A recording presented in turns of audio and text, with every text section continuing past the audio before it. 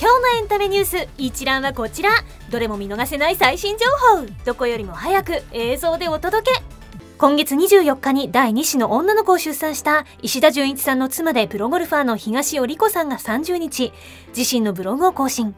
退院したことを報告するとともに長女の名前が青葉に決まったことを発表しました。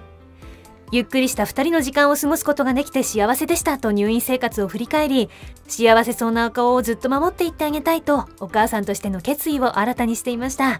おめでとうございます。続いてはそんな青葉ちゃんのお姉さんの話題。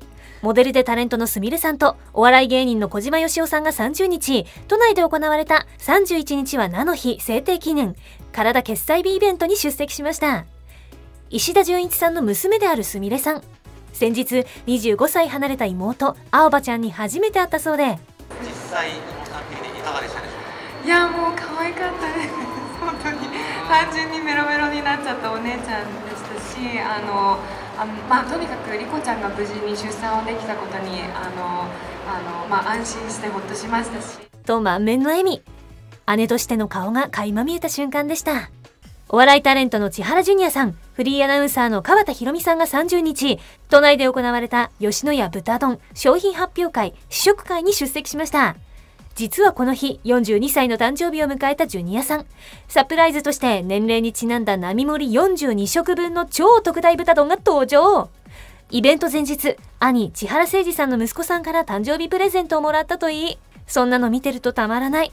自分も我が子を、みたいに思います。と本音をポロリ。幸せな報告お待ちしていますよ。音楽プロデューサーの小室哲哉さんが30日、自身の公式サイトで右足の関節を骨折したことを発表しました。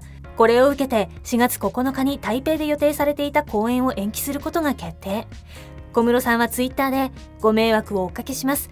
明日手術なのでまた術後報告しますね、とファンに謝罪。一刻も早い復帰を願っています。かねてより交際していた歌舞伎俳優の片岡愛之助さんと女優の藤原紀香さんが30日、報道各社に向けたファックスで結婚を発表しました。昨年5月に女性週刊誌が同性愛と報じましたが、愛之助さんがブログで否定。しかし、これをきっかけに距離が縮まったとして、8月には揃ってブログで交際を宣言していました。2人はファックスで、婚姻の手続きをいたしましたことをご報告させていただきますと発表。明日31日に都内でツーショットで結婚会見を開く予定。どんなお話が聞けるんでしょうか。注目です。以上今日の芸能ニュースでした。また明日。